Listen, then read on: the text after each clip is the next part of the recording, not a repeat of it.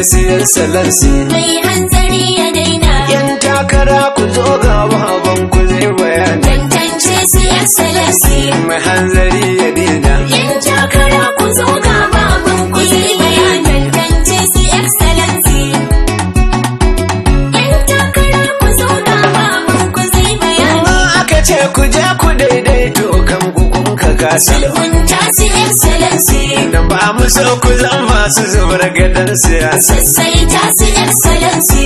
Mai tambaya ta ho kai mu za mu waƙa amsa. Tantance su excellency. In ko ka kulkure ka yi bore ka taka kusa. Kuma ba mu baka sisi. Tantance su excellency. Mai hanzari ya dina yan takara ku zo ga baban ku zai bayani. a waɗanda sun ka buɗe atihunsu sai su kulle. Domin ku ba mu hango barna kawai mu ƙyale.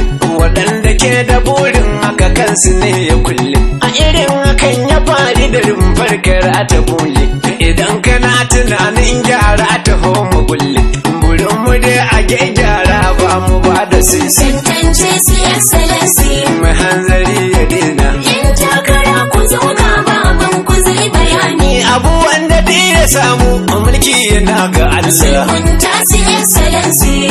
Gaya ma wanda dai ya samu ya goda Allah sassaita su excellency. In ka ji akasin haka yi tawakali ga Allah. Tantance su excellency. Gyara muke buƙata ni kai da excellency. Excellency. Tantance su excellency.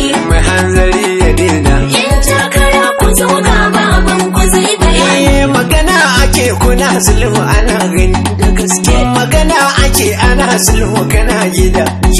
Tafiya ake ana baka kana gida. Gyara ake kana nuna halin guda. Waɗansu na ziga kaka guji mai gida. In kai hakan kwa kayi shiga kwance babu la'asi.